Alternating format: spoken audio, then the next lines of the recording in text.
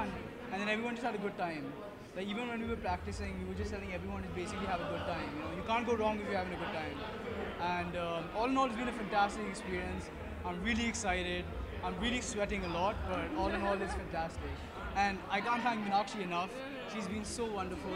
It's been an amazing show, thanks to the guys behind it all, and uh, it was it was amazing from the bags to how it was presented to the models. Everything was so well curated, and I think the best part of it was uh, how all of us were just grooving and going with the flow, and uh, not really caring about how what what truly is happening and all. It was just a fun show where everybody genuinely enjoyed it. So, Right yeah. after like being strict with all the other shows, we could just let loose. Yeah. So that was nice, yeah.